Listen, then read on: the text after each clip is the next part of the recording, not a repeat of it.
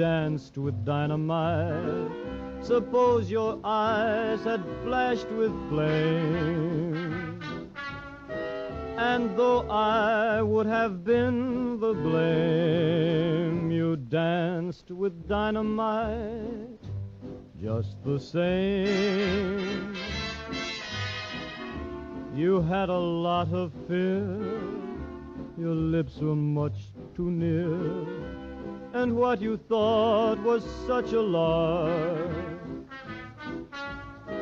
It needed just a tiny spark. You danced with dynamite in the dark. The floor began to sway, and strange to say, the ceiling whirled about. Passed by paradise, and once or twice I nearly cried, Look out! And while we're here alone, you're in a danger zone. And do you dare